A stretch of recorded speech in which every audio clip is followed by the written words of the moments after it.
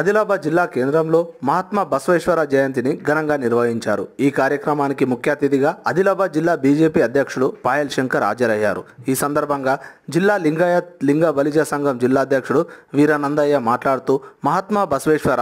పదకొండు వందల ముప్పై రెండు సంవత్సరంలో కర్ణాటక రాష్ట్రంలోని బీజాపూర్లో జన్మించి ప్రపంచ దేశాలకు పార్లమెంటు వ్యవస్థను పరిచయం చేసిన మహనీయుడని అన్నారు ఈ కార్యక్రమంలో వీరశైవ లింగాయ సంఘానికి చెందిన అడ్వైజర్ రాచోటి మరియు గంగాప్రసాద్ వెండి సోమేశ్వర్ చౌకీదార్ తదితరులు పూలమాల వేసి నివాళులు అర్పించారు